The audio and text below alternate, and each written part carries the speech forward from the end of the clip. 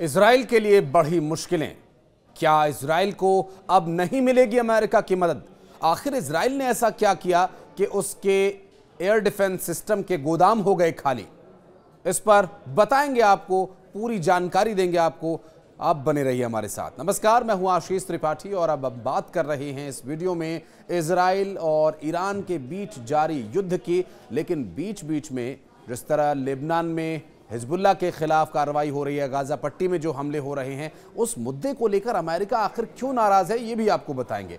दरअसल, इस वक्त इसराइल की हालत कुछ पतली है, लेकिन इसराइल के जो लक्ष्य हैं इसराइल का जो ध्येय है, वो बिल्कुल स्पष्ट है। राष्ट्रवाद सर्व प्रमुख इसराइल लेकर चल रहा है, और ये बात उसने अमेरिका को भी बता दी है।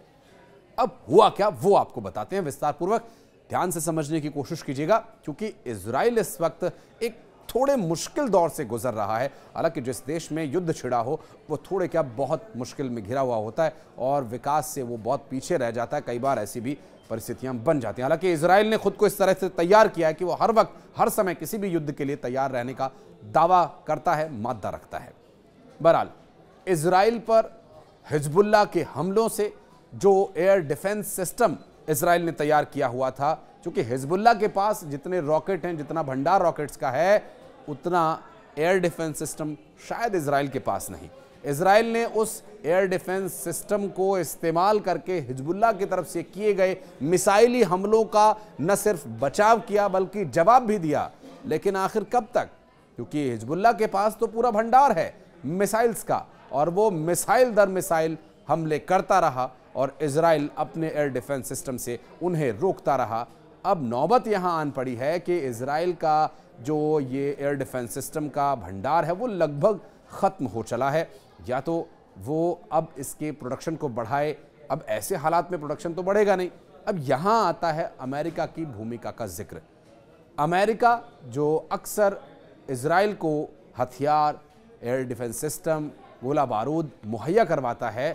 इस वक्त वो भी थोड़ा नाराज़ चल रहा है। अब अमेरिका क्यों नाराज़ है, वो भी आपको बताते हैं। लेकिन हिजबुल्ला के पास अभी यहाँ इसराइल पर हमला करने का एक बड़ा मौका बन रहा है। लेकिन नेतन्याहू ने साफ़ शब्दों में कह दिया है, ऐसी गलती मत करना। घर में घुस कर मारेंगे। अब घर में घुसकर गाजा पट्टी में भी हमले किए गए इसराइल के द्वारा। और वहाँ पर परिस्थितियाँ कुछ ऐसी बनी कि अस्पतालों पर, टेंट्स पर हमले हुए। और वहाँ मौजूद जो घायल लोग हैं, जो परेशान लोग हैं, असहाय हैं, जिनको इलाज के लिए वहाँ पर रखा गया उनमें से ऐसे चार लोगों की मौत होने की बात से अमेरिका को ये बात चुप गई और अमेरिका ने इसराइल को साफ़ शब्दों में कह दिया कि इस तरह के हमले नहीं चलेंगे। अमेरिका ने स्पष्ट कहा है कि 30 दिन के भीतर गाजा में मानवीय सहायता की मात्रा बढ़ानी होगी इसराइल को, अन्यथा वो इस बात को भूल जाए कि अमेरिका इसराइल की मदद करेगा।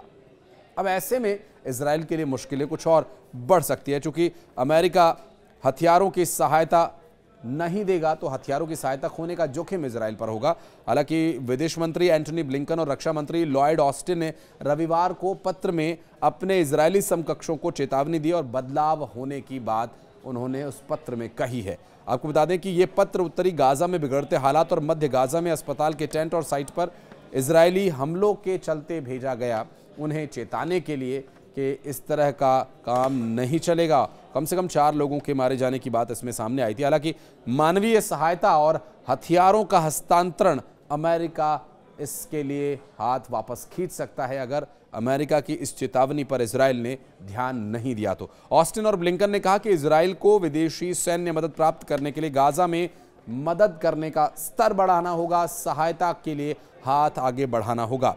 इसराइल को लोगों के सुरक्षित पनाह की व्यवस्था भी करनी होगी और सुरक्षा प्रदान भी करनी होगी। हालाँकि उन्होंने कहा कि इसराइल के पास विभिन्न आवश्यकताओं पर कदम उठाए जाने की आवश्यकता है और इसके लिए सिर्फ़ उनके पास 30 दिन का समय है। अमेरिका ने साफ़ कर दिया है। इसराइल के एक अधिकारी ने इस पर जवाब भी दिया और इसका विवरण देने से हालाँकि मना कर दिया था उन्होंने जब इस पर जानकारी मांगी गई। हालाँकि उन्होंने कहा कि पत्र में अमेरिका ने मानवीय मुद्दों को रेखांकित किया है। यानी उनका ये कहना है कि अमेरिका बस इतना चाहता है कि इसराइल मानवीयता को बनाए रखे और इस बारे में विचार करे और उस पर अमल भी करे। वर्तमान परिस्थितियाँ इसराइल के लिए बहुत विपरीत बनी हुई हैं। ईरान से, लेबनान से हिजबुल्ला से गाजा पट्टी में किस किस मोर्चे पर लड़ेगा ये इसराइल और किस मोर्चे पर होगी फतह? ये तो बहरहाल आने वाला वक्त ही बताएगा, लेकिन इस वक्त जो हालात इसराइल के बनते नज़र आ रहे हैं, इस बारे में अगर आप कुछ कहना चाहें, ईरान, लेबनान हिजबुल्ला या फिर अमेरिका के स्टैंड के बारे में अगर आप कुछ कहना चाहते हैं, कमेंट सेक्शन में आपका मोस्ट वेलकम रहेगा। धन्यवाद।